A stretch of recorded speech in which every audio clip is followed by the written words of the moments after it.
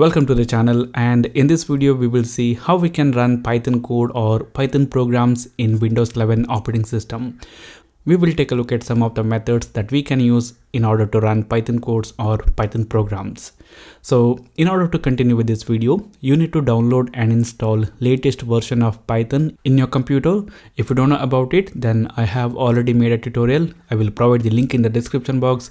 You guys can watch those tutorials and uh, install Python. So once Python is installed, we can go ahead and we can run Python programs in our computer. So first we will take a look at how we can run Python codes using the Python interactive shell. So we will click on the start button and we will search for Python and here we can find the Python app. If we open up that one, it will open up the Python shell. Using this Python shell, we can execute some Python code. For example, I can say print here and I can say hello YouTube.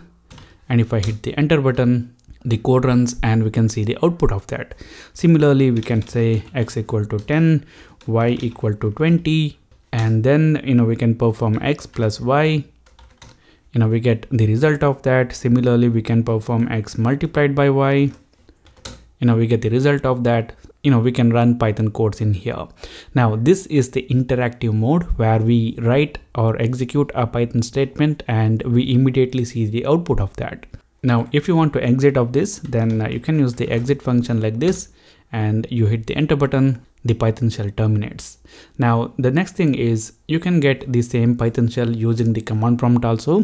We click on the start button, we will search for CMD and open up the command prompt. And here we will type in Python.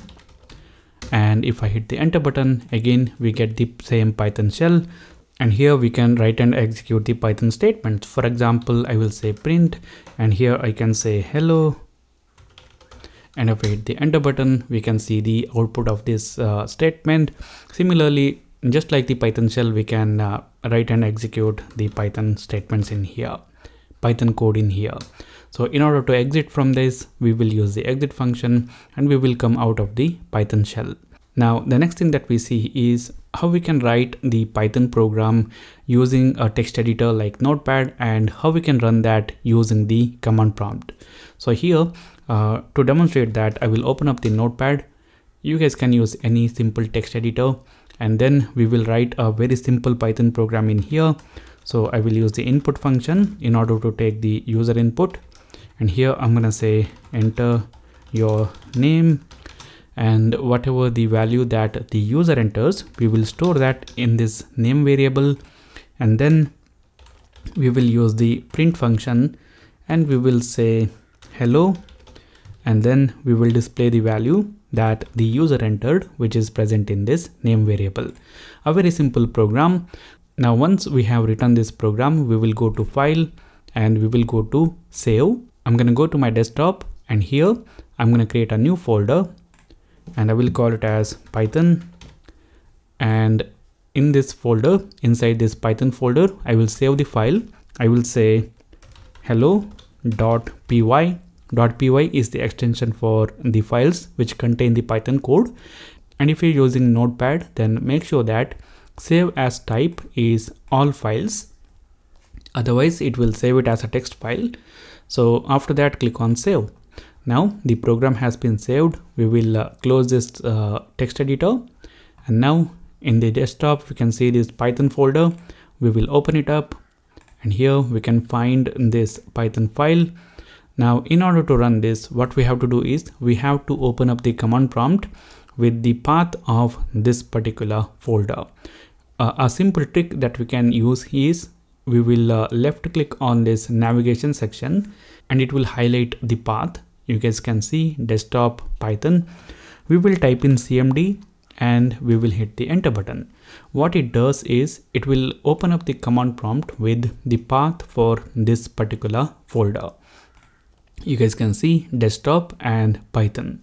Now in order to run this python file all we have to do is we have to write python space then the name of the file which is hello.py and if I hit the enter button the program runs and it says enter your name I will enter my name and it says hello Anil So that is the output of our program.